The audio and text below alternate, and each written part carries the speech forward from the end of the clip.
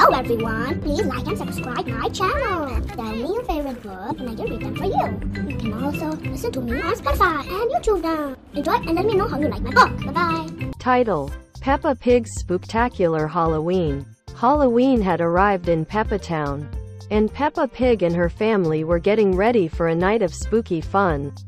They carved pumpkins, decorated the house with cobwebs and bats, and even put up a giant, friendly ghost on the front lawn. Peppa and George were especially excited because they were going trick-or-treating with their friends. Suzy, Sheep, Danny Dog, and Emily Elephant. They had all chosen their costumes and couldn't wait to show them off. Peppa decided to dress as a magical fairy, complete with a glittering wand. George had opted to be a friendly ghost, and he wore a white sheet with two holes for his eyes. Mummy Pig and Daddy Pig joined in the fun too, with Mummy Pig as a wicked witch and Daddy Pig as a mummy. As the sun began to set, the children and their families gathered in front of Peppa's house. The full moon cast an eerie glow, and the wind rustled the leaves, setting the perfect Halloween atmosphere. Are you ready, everyone? Peppa asked her wings fluttering as she held her wand. Ready. They all chimed in.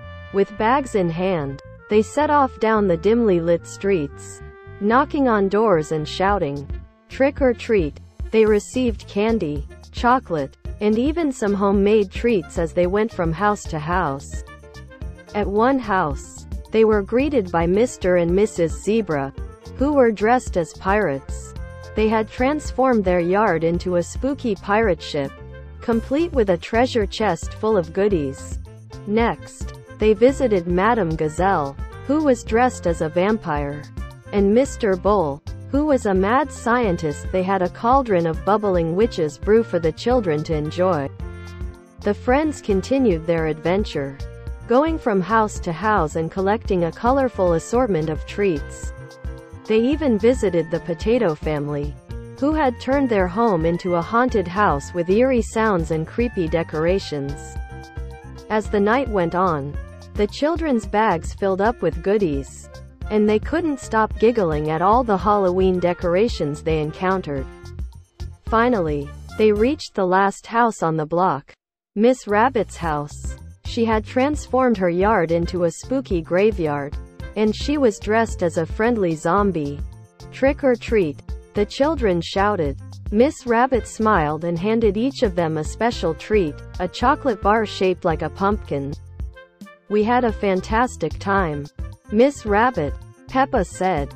Happy Halloween, everyone. Miss Rabbit replied, with their bags filled to the brim and smiles on their faces. Peppa and her friends headed back home ready to share their spooky tales and enjoy their delicious Halloween treats. Back at Peppa's house, they gathered around the table and emptied their bags. They traded candies, told ghost stories, and laughed at the fun they had had. It was a Halloween to remember, filled with treats, tricks, and the best of friends. As they drifted off to sleep that night, Peppa and George snuggled in their costumes dreaming of the next Halloween adventure and all the fun yet to come. Oink, oink, and a spooky good night.